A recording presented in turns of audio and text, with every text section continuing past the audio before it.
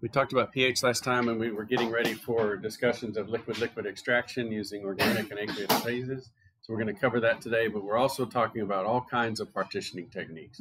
So this partitioning is just sort of separating analytes from other analytes or separating analytes from the matrices. Um, this takes into account also chromatography. So I've got a couple of uh, new things uh, in this set of notes uh, related to chromatography that we did at the workshop a couple of years ago. So I teach a cleaning workshop, and a lot of times when they discover soils and so on on their parts, they need to figure out what that is. And so they remove it, they try to identify it, and so a lot of times they are forced to use partitioning techniques. So this is the general partitioning uh, idea, and that is you've you've got an analyte that's either in a matrix, uh, solid phase, or liquid phase, and you need to um, homogenize that, and you need to extract it in some way. Uh, there's also digestion. Uh, it's easy to think of like tissue samples needing to be disrupted, but also there's um, soil samples. You know, there's uh, glass samples and so on.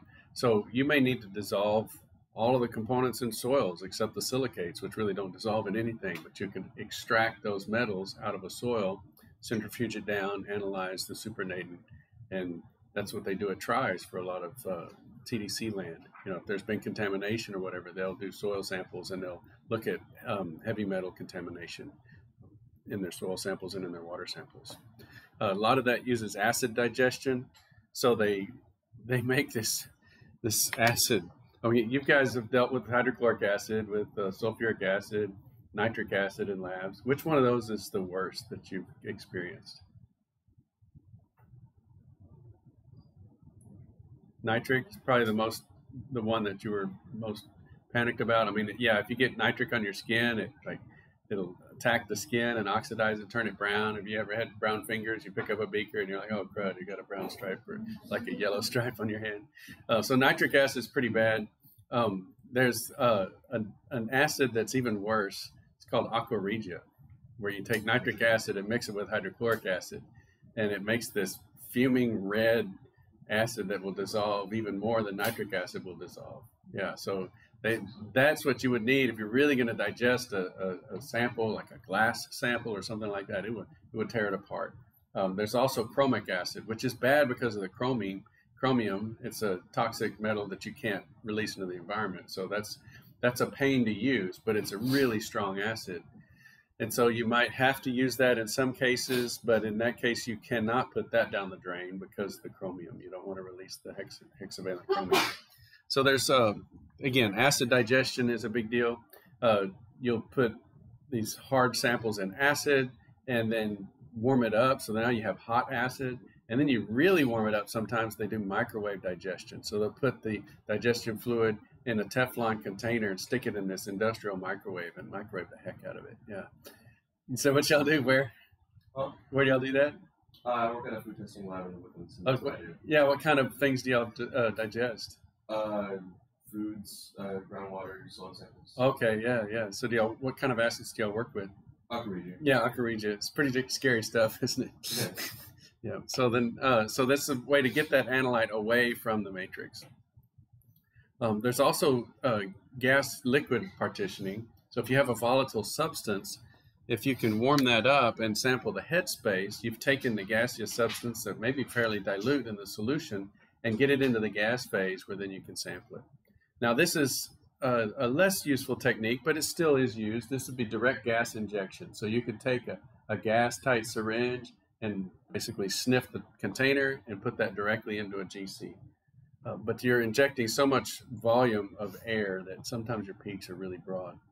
Uh, a better technique now, and they use this out at the um, the uh, forensic science facility, uh, is these little um, solid phase absorption fibers. And so it's a solid phase micro extraction. It's a little polymer that uh, is like a silicon polymer that you can heat up and drive off all of the compounds from the silicon polymer and then you pull it back into this little tube and it looks like a syringe. So you can inject it onto a, a gc through the regular port but it's not a syringe. It's a little polymer fiber.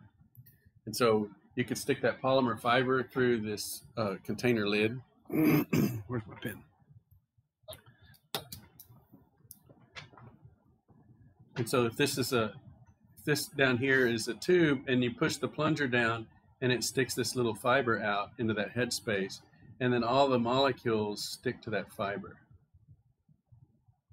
and so it's just collecting the headspace. It's extracting those molecules from the headspace. Some of them you can put directly in the solution too. And so it doesn't absorb water, it'll absorb the organic compounds and they stick to that fiber. And then you can go put them in the GC. And when you stick that metal tube through the septum in the GC, then you push the plunger down you're not injecting anything, you're just exposing the fiber into that hot area. And the heat drives off all those compounds. So that would be solid phase micro extraction. That's another possibility. So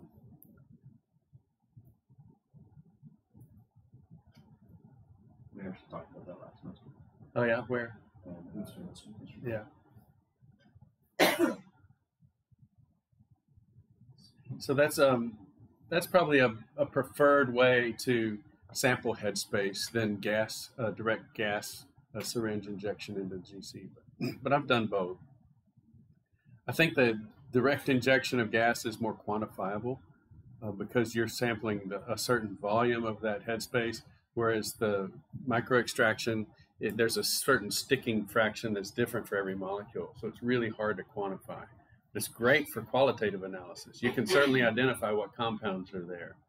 So when we did direct injection of gas, like straight out of the tap, uh, we saw methane, huge peak of methane, and maybe a tiny little peak of ethane.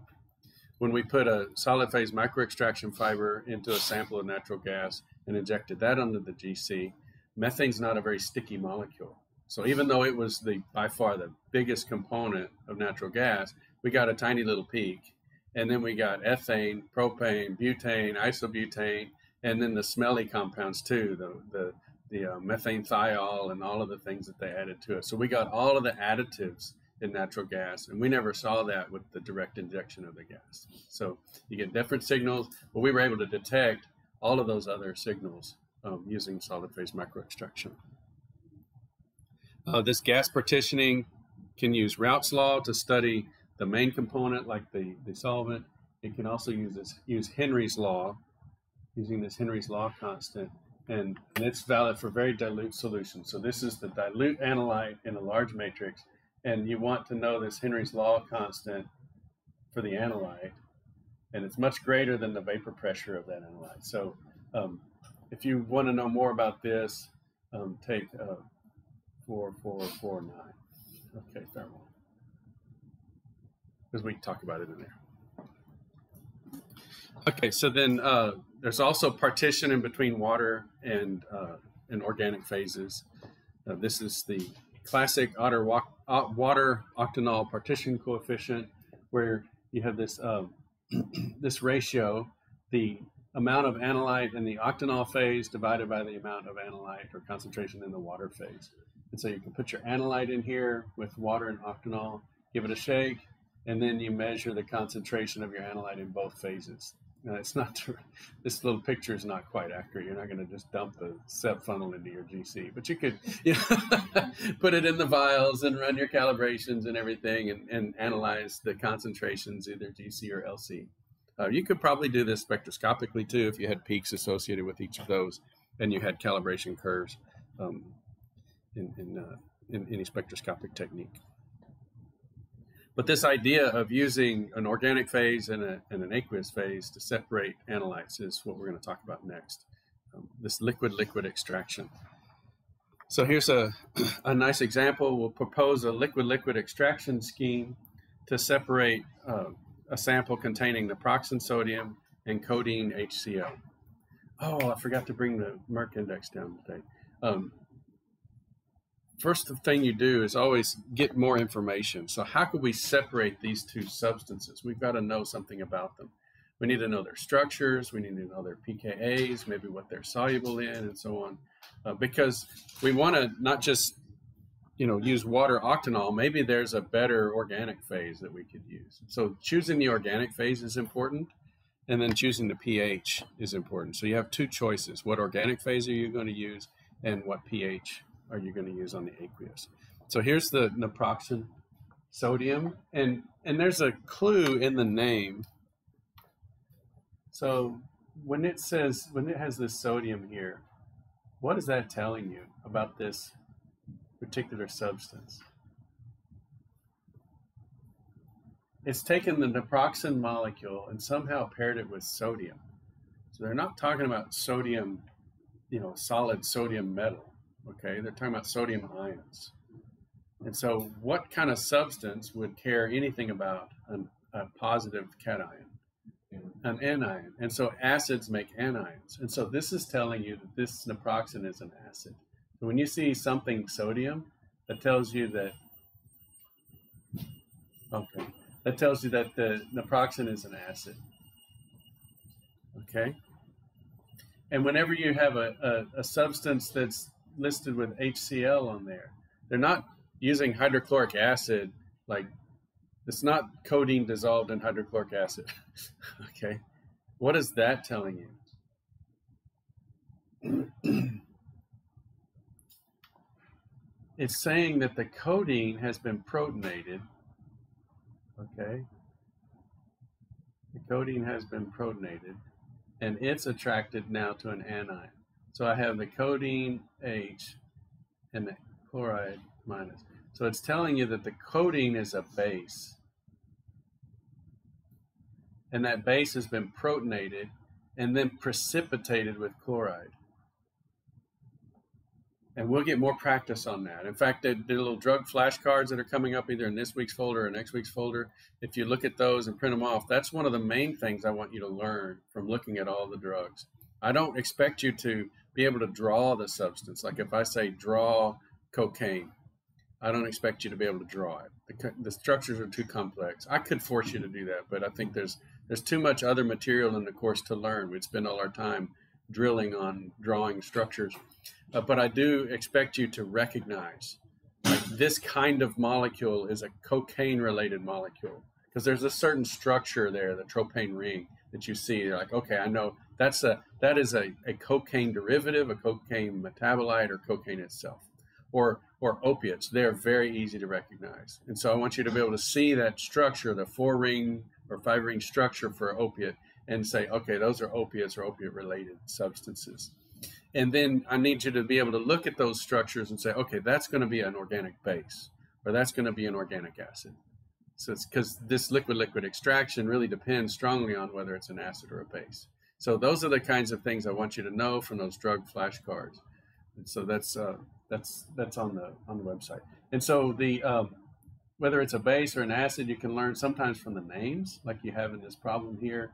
Um, definitely see it in the structure. So you see this carboxylic acid group, so you know that this is the the protonated form of the naproxen. Okay, and then down here is codeine, HCl, and so here's the here's the codeine molecule. Here's the organic base, HCl. See, it's been protonated, and then it was precipitated out of organic solution uh, with that chloride. so it made a, a salt and a salt is not going to be soluble in an organic solution. So it was salted out of an organic solution and purified, and then packaged and sold as as as codeine HCl. So that's the base. Here's the table for, of information from the Merck Index. The Merck Index is a pharmaceutical reference. Merck is a pharmaceutical company, and it has all kinds of drugs and substances, uh, pharmaceutical substances in it and you it's about that thick so it's enormous um, definitely i mean if you buy a new one you better get your checkbook out right but if you um, you don't use checkbooks anymore cash app um, so uh, but but if you go online and look for a used copy it's going to be fine i mean all the substances with the with the exception of maybe the fentanyl analogs are, are pretty old and so they're all going to be in there. And the fentanyl analogs are probably old enough to be in in there in, in many cases. So what do we have here? Um, we got the pKa. So this is the pKa for the naproxen molecule, the acid. This is the pKa of the protonated base. Remember, pKa's are for the acid species. So anytime you see a pKa, if it's a base, it's the protonated base that is giving you the pKa. It also has some solubility information here. So naproxen sodium is insoluble.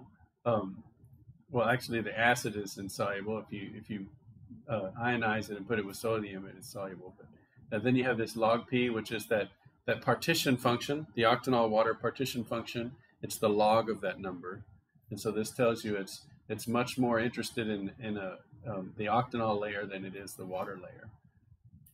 Um, this is the solubility in ethanol. So one essentially uh, it's by mass. Um, you could say one gram to 25 grams of ethanol, one gram to 15 grams of chloroform, one gram to 40 grams of ether.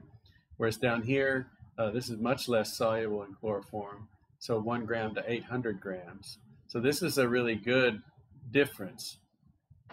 And so this is going to be very, you know, low solubility, no, high solubility in chloroform. This is a low solubility in chloroform. And so that's the biggest difference. We can explore, exploit that. So I'm going to use chloroform for my organic layer. And so then let's think about what we have in terms of pH. So at low pH, we found that the, um, the uh, let's see, let me go back to the table, just make sure. Yeah, so the peak, the pKa of naproxen sodium is 4.2. So if we're below 4.2, both of these are protonated.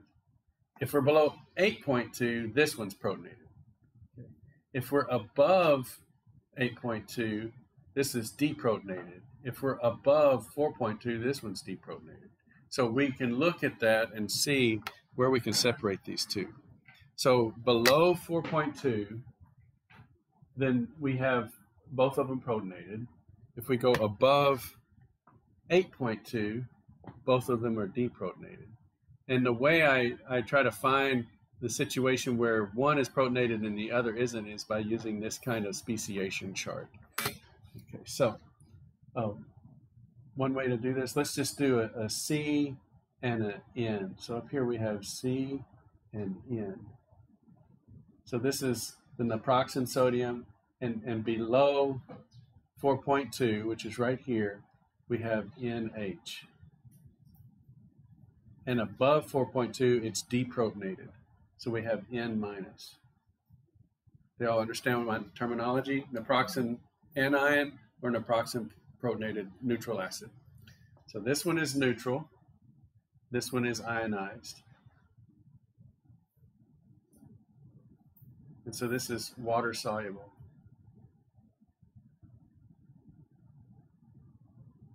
This whole region is water soluble if the water layer has a pH above 4.2.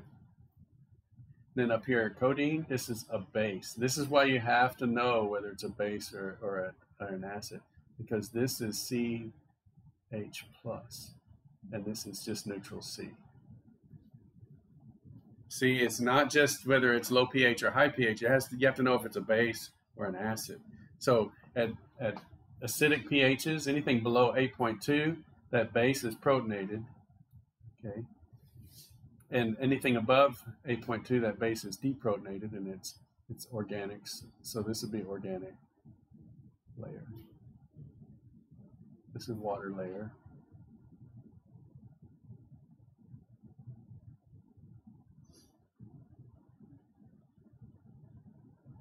Okay, so this is ionized.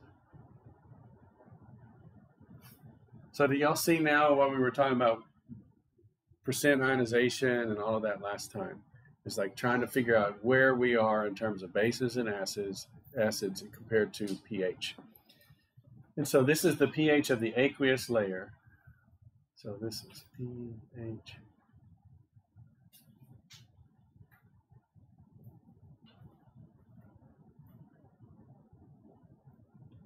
So if I were right here at 5.5, I'd have both of them in the aqueous layer. Okay. And then if anything was in that, let's say I had a, a really dirty sample and had all a bunch of other organic compounds, I would pull these two into the aqueous layer. Maybe the other organics stay in the organic layer, and I could throw that organic layer away, and I've cleaned up my my substances. Then I put in a fresh organic layer. They're still in the aqueous layer, and then I change the pH. It doesn't matter really in this situation which direction I go if I go down to a pH of 2, Then the naproxen is protonated and neutral and it jumps into the organic layer. So I've separated them both.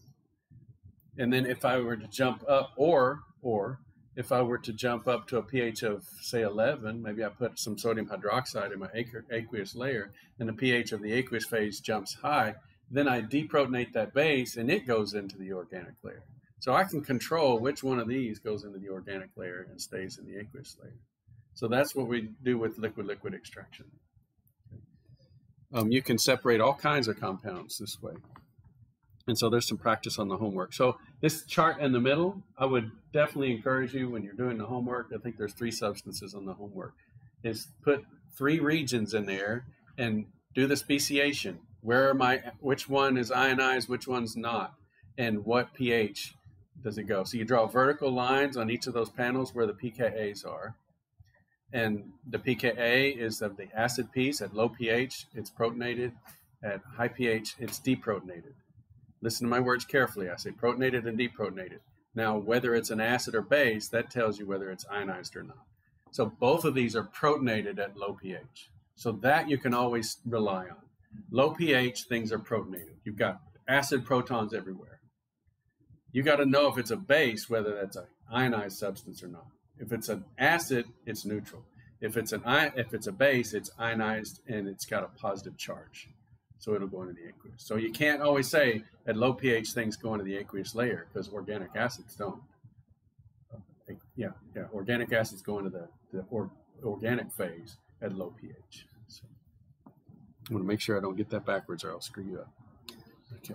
So for example, you know, you could avoid ranges between 4.2 and 8.2 if you wanted to split these into the two layers. Um, there may be a situation where you want to clean them up, so you'd stay in the middle, keep them in the uh, aqueous phase, and then flush all the other organics out with the organic phase, and then refresh that organic phase.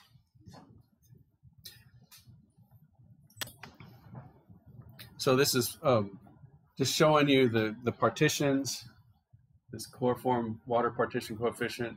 And so we know the chloroform concentration roughly one to fifteen for uh, for the naproxen, and it was insoluble in water as the acid form. And so essentially, you're going to get an infinite partition uh, in the chloroform, and then if it was in the um, the codeine situation, you would have a low concentration in the chloroform, a higher concentration in the water.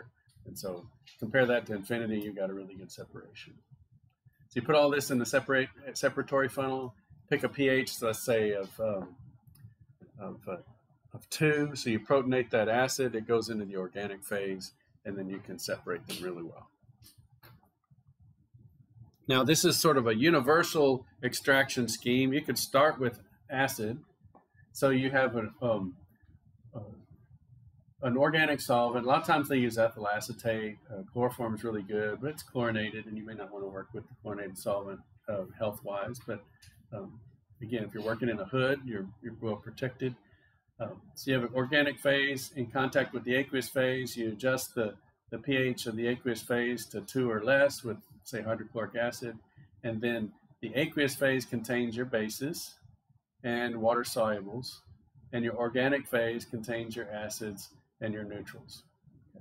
And so if you split these apart into two different um, uh, two different sep funnels, the aqueous phase comes over here and the organic phase comes over here. Okay, so do y'all see what this universal scheme is? Each, each thing splits the organic and the aqueous phase. So then over here, we get a new organic phase. And we adjust the aqueous phase to pH 9. So, we, you know, we find whatever uh, acid, weak acid we want to use or, or base, we add it until we get to a pH of 9. And now that gets the weak bases in the organic phase, and then the uh, the uh, and, and, pulls out those weak bases. So that goes here. Then this aqueous phase is here, and we refresh the organic.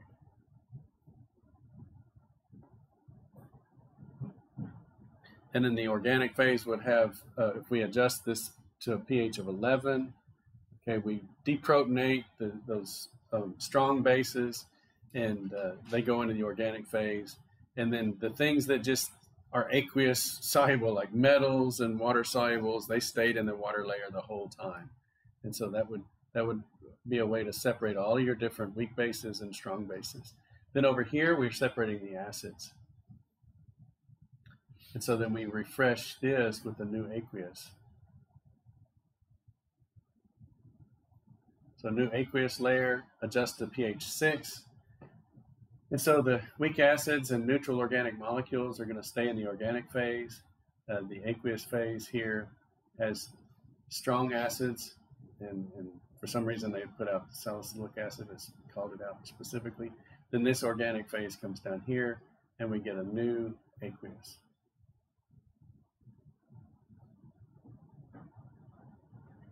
And we adjust that pH to greater than 10, and so then we split the organic neutrals, and we have weak acids because um, we've deprotonated them, deprotonated them at that strong base. So we pull those weak acids out into the aqueous layer, and uh, and this is a great way, a scheme with five separations to separate a ton of analytes. And then you can take those different separations and run them in your chromatography um, setup. So let's talk about chromatography. We have different kinds of chromatography. You have gas chromatography where the molecules are essentially separated by their boiling points. Uh, but some things have such high boiling points that they're really difficult to separate. So we use liquid chromatography. And there's a bunch of different types. Let me focus a little bit on uh, partition chromatography. Let's see. And, and mainly wanting to focus on this vocabulary, this crazy vocabulary. So the original, you know, liquid chromatography used a polar stationary phase, namely aluminum oxide. Oops. So it can be made at high purity.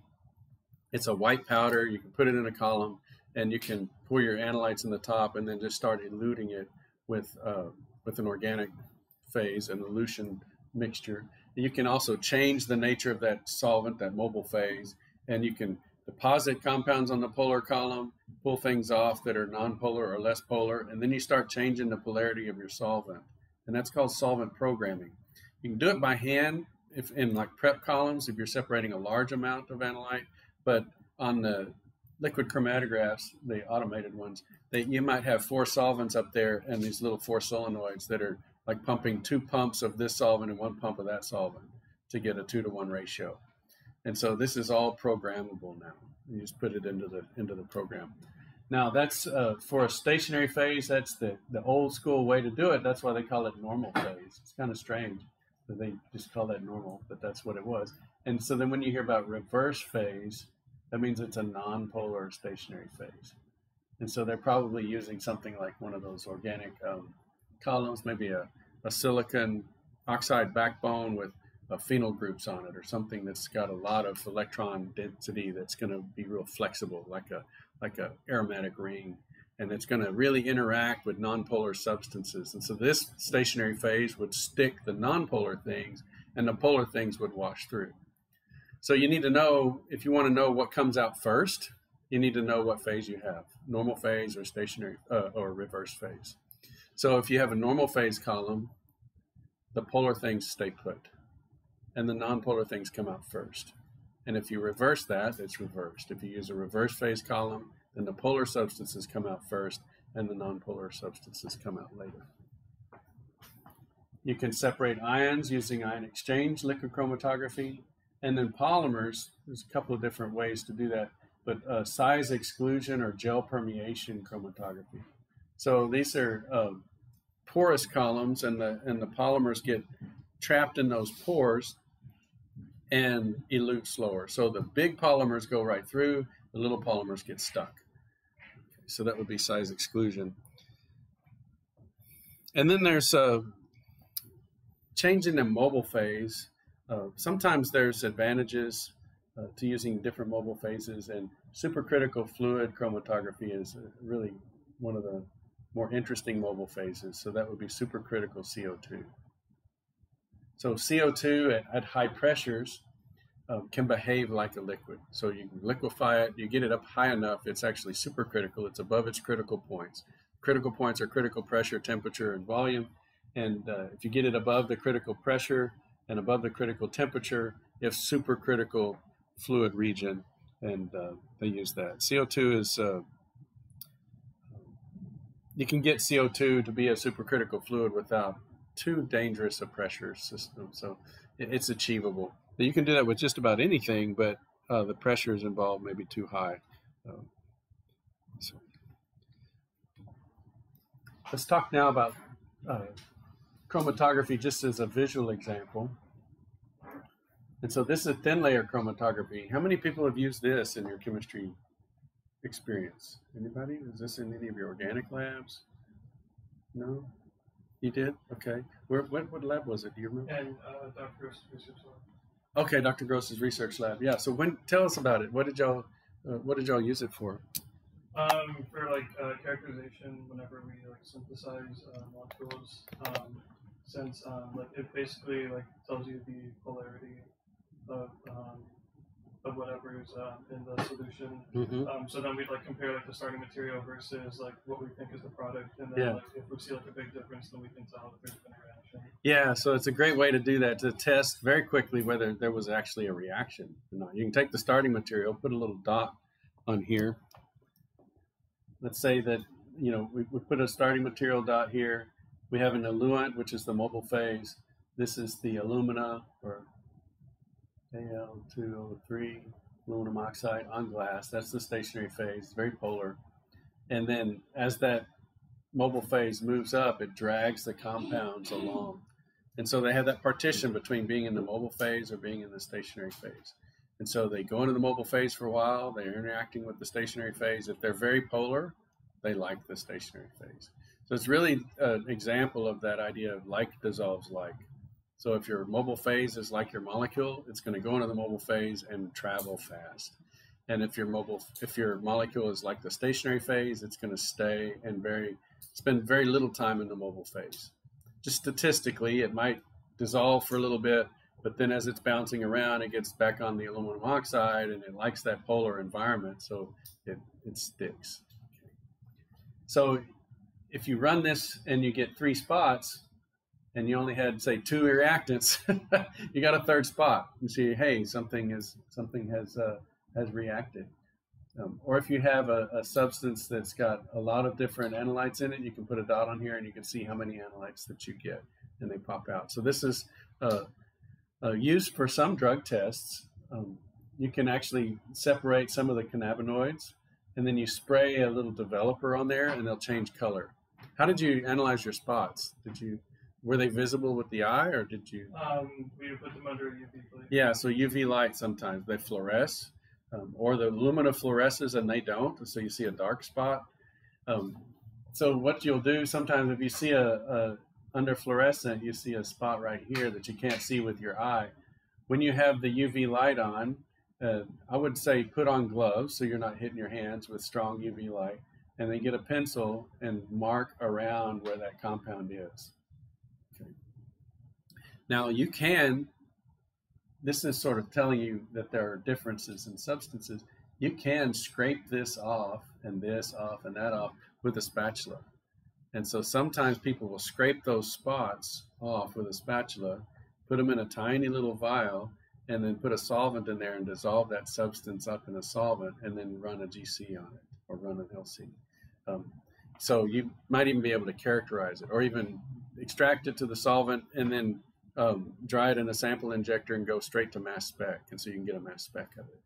You've already done the separation, right? Run it through another column. You're just going to spread your molecules out and dilute the signal. So sometimes you have direct injection mass spec, so you can you can take that spot, dissolve it in the smallest amount of solvent possible, put it on a little these little direct injection spoons, let the solvent evaporate, and then you put it into the mass spec, and it warms it up and injects it right onto the mass spec. And that's a great way to characterize it. Now, this is a prep column or column chromatography or prep chromatography over here. And this would be for large amounts of substances. So you put the mixture up here, and then you can do it by hand where you just keep pouring solvent in the top. And this is nice, especially if you're using alumina, because you got this nice white column and you can see the colors come down and you have a detector. You can you can collect these fractions in different beakers and so on. Has anybody ever done prep column chromatography? In Biochem lab, okay. Do you get any colors out of it? It's nice, yeah. So it's a, it's, I think it's very pleasing. This is one of the first things that got me interested in chemistry. Okay, so my, uh, see, was it seventh grade? It might have been. It's my science teacher. She had a plant that had green and red leaves, and so she took the leaves and she ground them up in a mortar and pestle because everybody sees a mortar and pestle and thinks, ah, science, right? So she grinds these leaves up and then she squirts some ethanol in there and ground it up, and then she put it on one of these columns and then started pouring the, the ethanol through. And uh, I didn't even think as a kid that you know my teachers got like 100% ethanol in class, but she, she's pouring it into the top and it's it's flowing down, and we can see the green layer and we can see the red layer, and we can see them separate as we went. And so then she caught them in a beaker, so it was really cool. So I was I was super impressed with that. So um, anyway, that's good. And you can you can separate quite a you know large amount of sample with column chromatography as compared to, to TLC. Now this is a video from the um, remote workshop. So I teach cleaning and uh, in industrial cleaning, and a lot of times you have this problem soil. It would be really nice to characterize it, and so we uh, do a hands-on workshop. We were doing them every other year. So we did one in 2018, and then in 2020 we were coming up to do another one. We had advertised for a year and built it all up and everything, and starting to take people's money, and they had sponsorships and everything, and then COVID hit, and so. Uh, we spent the next year, the COVID year, doing webinars to try to keep people still interested in the workshop. And then as 2021 was coming along, we thought, you know, people are still not ready to travel. Let's try to make this thing virtual. So, uh, had a couple of students that were really talented with um, um, working with the um, OB OBS. I don't know if you know about OBS, but they were they made some great scenes. And so this is our setup. This is Barbara and Ed Kanegsberg, my colleagues in California. So they're on Zoom with me in California. We have um, a camera on me with a green screen behind me, and we have a camera on the apparatus that's being substituted in for the green screen. And so we had five cameras, I think, working this whole workshop. And so this is the, the video on the thin layer chromatography and we use Sharpie as an example because it's got um, carbon black, which is like soot. So if you're in an industrial facility and you, your part or your tools get too hot, they carbonize things, and so you have soot on your tools. Um, the uh, Sharpie also has pigments, so a lot of organic molecules in it, and then it has a polymer binder that sticks it. That's why it doesn't wash off very easily. So it's like the worst case scenario for uh, soil on your part you've got a polymer binder holding soot on, and it's got a lot of discoloration that's going to leach out. So this is, um, let's it.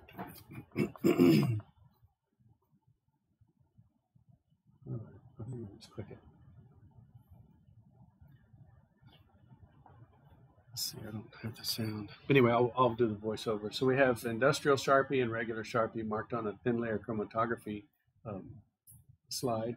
We've got an elution chamber with ethanol in the bottom, which ethanol is not a great solvent for Sharpie. It, it's it's a moderately good solvent, and so it's gonna it's not gonna dissolve the whole line and move it. It's gonna dissolve some of the compounds in that line and move those compounds.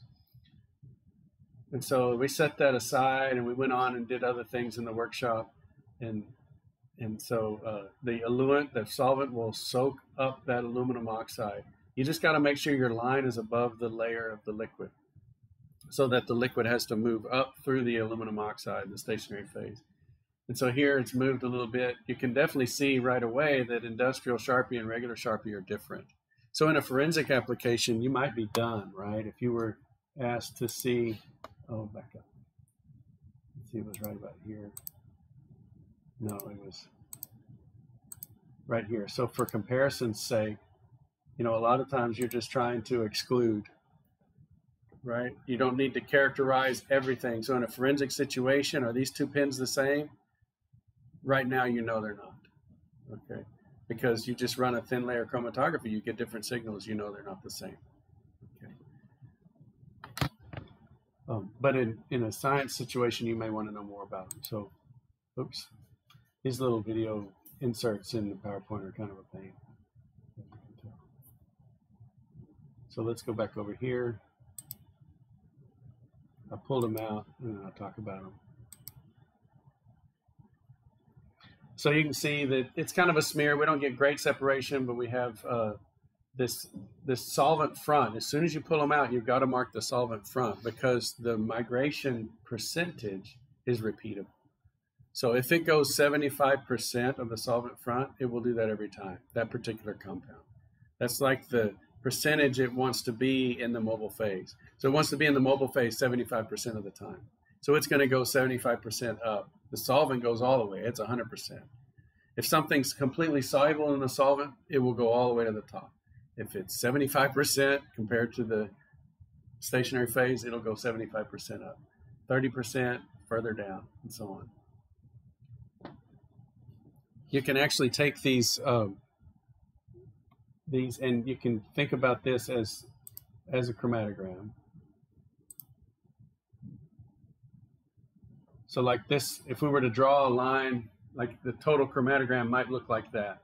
So if we put this in a in a chromatograph, GC, LC, whatever, then we might be able to get that signal. But this is a nice visual. You know, this is a nice visual um, example of what we're seeing in the chromatogram, right? So there's a substance here, that's that peak. There's a substance there, that's that peak. A little substance there, that's that peak. And so the peaks in the chromatogram you can actually see on this thin layer chromatography plate. And yeah, this one's really smeared out. Well, then that's going to give you a really wide peak in the chromatogram. So I like this because it's such a visual technique. It's not as good at separating as a as a capillary gas chromatograph. That that that column. See, this is maybe uh, three inches long, and the the uh, column in a GC, these capillary columns, are 30 meters. so the molecules are going through 30 meters of tubing and that, that's where you get really good separation. And then you might have a detector that's selective. So let's say we had a detector that had a filter on it and it only saw blue compounds. And so then notice how it simplifies the chromatogram. So up here at the at the top, you have this, you know, it's just sort of an example of selective chromatogram. We see this blue peak here and this blue peak here, and then something maybe in that one. And so it ignores the yellow. And so that's what we would have for um, a selective chromatogram. It doesn't have to be mass spec. You could do that with IR. If you have a GC FTIR, you could look at a particular, say, carbonyl, and it's only going to see when the carbonyl substances come out. Or if you have a mass spec, you can have the total ion chromatogram, all the ions that come off of the column, or you could have a selective ion. So if you're looking for a particular substance, say codeine, then you would look for that molecular ion and as soon as the codeine came out, then you would see it. Now you might get, um, trying to think of the structure of codeine, we just saw it, but but it might also be a fragment of say heroin. So you might get two peaks, and you would do your analysis and see, okay, this is the heroin peak, this is the codeine peak. But it would definitely simplify the chromatogram. And so then this is what the instruments look like. These are some real fancy ones, actually. We have the gas chromatograph. This has some extra detectors on it, um, probably a mass spec. This is the ion chromatograph, and then here's liquid chromatography. Both of these are liquid chromatography, but ion chromatography is a subset of liquid chromatography. Then you have enzyme linked immunoabsorbent assays, which after COVID, everybody knows about. Okay. How many people took a home at home COVID test? Yeah. How many got one that popped positive? yeah. So the first three or four that I did never came back positive. I just had colds, you know, and I'm, I'm doing the swabs and making myself sneeze and went through all of that and never got a line. And then, uh, gosh, it was, was in the fall? was it summer? I'm trying to remember when it was. I think it was the summertime. Anyway, Jennifer and I were feeling pretty bad, so I went and got the kits and we we did the thing, and it was like, bing! You're supposed to wait. What is it? 15 minutes? Yeah. I mean, as soon as the line went across, it was red. I was like, oh my gosh, look at that. Yeah. And then uh, in July, my father passed away in Fort Worth. So we were trying to set the funeral and everything. And uh, my mom wasn't feeling good. She had a bad cough. And I was like, you know, we're bringing all these people in for the funeral. Let's check. And so sure enough, boom, she was positive COVID. And I was like, no way. So we had to, to postpone the, the visitation and everything for a few days. Uh, but anyway, how does this work? Well, you have this, um, and it's, it's, there's like 500 different ways to make these, but, but you have uh, an antigen antibody complex. And most of these are, are done by uh, competition. So you have this little enzyme, you have the, the drug and the antibody that reacts to that drug, or in the case of COVID, you have some sort of spike protein or something that that antibody is going to react to or bind to. And then you have this, uh, this enzyme that's going to create the color change. Now, the most important thing is, is what's going on with this control line. Do y'all understand why that's important? It doesn't work very Yeah, and so what might make it faulty? What might make your test faulty? Lack of enzyme, the antibodies to detach the paper strip. Yeah, so there's lots of places it could go wrong, and one of the biggest is temperature excursions. So think about denaturing your proteins. These enzymes and everything are protein based. And so if uh, the Binax now or whatever kit had been in the back of a shipping vehicle that got stranded, whatever, in the West Texas, and the interior of that truck got up to whatever 150 degrees, you know, it might denature some of those proteins and ruin the test. So you have that control line, and that's really important. If you don't have the control line, then you might get a false positive or a false negative. It's just an invalid test. But if you see the control line and it's a nice dark bright line, you say, okay, then then at least the test is is functioning. Now we look and read the result to see if the result is working. Now all of this has been automated. These were the at-home type things, and it's now been automated where you can put in you can actually buy these plates that have already got the antibodies and enzymes and everything in the wells for particular analytes and so this is how all of the urine testing for drugs and hormones and anabolic steroids and things like that in, in testing labs will bring in all kinds of samples, urine samples, blood samples, and so on. And they'll they'll load up these trays with these multiple pipetters. They'll do their dilutions and they'll stick it on a plate reader. And that plate reader is a little robotic thing. It goes in this little tray and it does a, a like a UV vis scan on all of these. And some of these, like five, 1536 well plate. There's so many samples are in there. Now, I want you to type pipette 1500 samples. Okay. no. Now these things, once you get up to that point, it's robotic. Yeah. So you have robotic pipetters and they'll come along with all these little hoses and they'll, they'll build, like you set up your standards, it will make the dilution curve, the calibration curve. It will run your samples through. It's all barcoded it knows what well plates are or what, and it'll run all of that. It'll do check samples. It'll do all of it and puts out your data in a spreadsheet. It plots the graphs and everything like that. And then we do have one of these plate readers here. Y'all do it in Biochem? Where is that used? Yeah, but it doesn't. I mean, I don't know what's the biggest number of plate uh, wells. What ninety six? Yeah. Do y'all have the like um, six wide or whatever pipetters? where you can do six at a time, or is it just all singles? Yeah. So they make them even like some handheld ones I've seen. If you look online, just pipetters or multi pipetters, you'll see that are some are really wide, and so you can do, you know, um, serial dilutions, I guess, very easily. Right. So this this really isn't. I wouldn't say this is necessarily a, a separations technique, but it is partitioning it's sensitive to a particular analyte. So that's what we would really call selectivity rather than partitioning. And so this is this is the word here. It's very selective, meaning meaning that it can find the spike protein in the midst of a whole bunch of other things, right?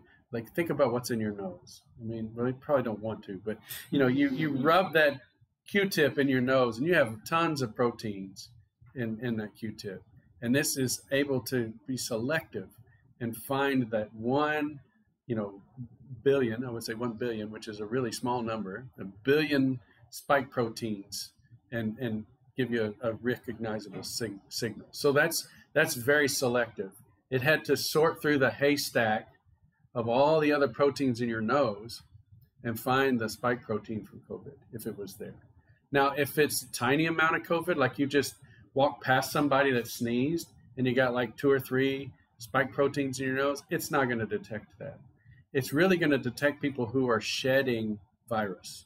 So this whole um, asymptomatic, um, you know, carriers and so on, they I think they they kind of harmed science in my opinion by making it sound like if you just like bumped into somebody that had COVID, now you're you're totally able to to carry that to someone else. That's not impossible, but it's incredibly unlikely.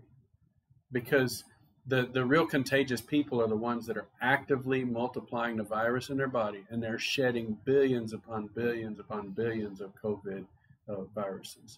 So it's just coming out of you and it's spraying out of you. So that's why it's so contagious when you have somebody that's actively a, a, a covid factory but someone who like picks something up that's been sneezed on it's on their hands and they uh, go to the bathroom and they push the little button for the towel and now it's on the on the button and somebody else does the same.